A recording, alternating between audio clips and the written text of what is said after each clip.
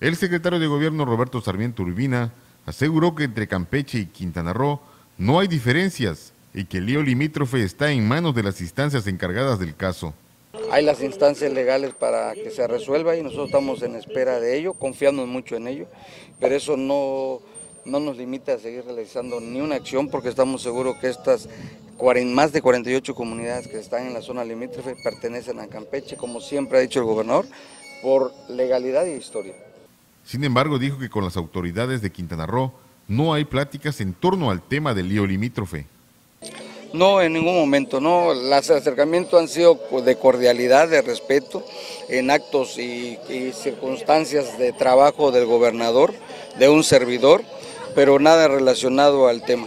¿Todo se ha dejado en los tribunales? Así es, no es un tema que las instancias eh, donde se encuentre el, el que esté en proceso son los que van a determinar este asunto.